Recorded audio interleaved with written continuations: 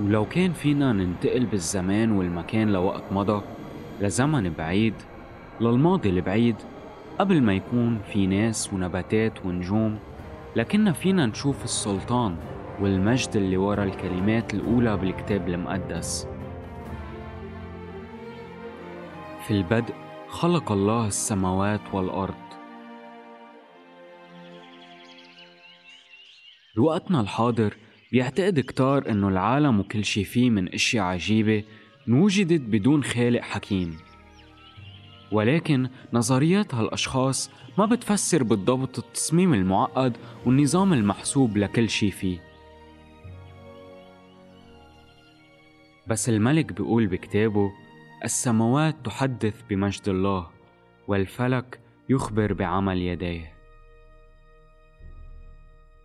ولأننا عم نحكي عن الإيدين طلع بإيديك وحرك بواهمك جرب إنه تحمل كتاب أو مكنسة أو مطرقة بدونهم لاحظ الضفير والمفاصل والجلد.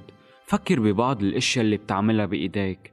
فمين غير الخالق المبدع في يصمم أدوات مثل هيدي؟ شو نوع الحكمة والقدرة المطلوبين لصنع ألف مليون مجرة؟ أو لخلق خلية حية اللي مؤلفة من ملايين الأجزاء المعقدة. أو لنسج الخيوط المجهرية اللي بتحمل الجينات الوراثية اللي بتخليك مميز. وقبل حوالي 3000 سنة كتب النبي والملك داوود نسجتني في بطن أمي. أحمدك من أجل أني قد امتزت عجبا.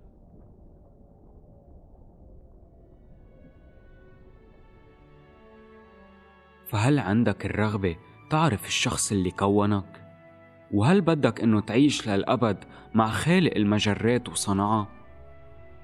فيك تحصل على هالشي لأنه الخالق أعلن ذاته وهو بده إياك تعرفه وهو بده عيلتك ومجتمعك إنه يعرفوه كمان وهو بيدعيك تتفهم خطته تتختار محبته تتتأمل بجلاله وإنك تخضع لسلطانه وتعيش حتى تمجده بس هو ما بيجبرك تكون واحد من رعاياه فهو بالنهاية مش بس الملك لكن هو الملك. ملك المجد. وهيدي هي خطته.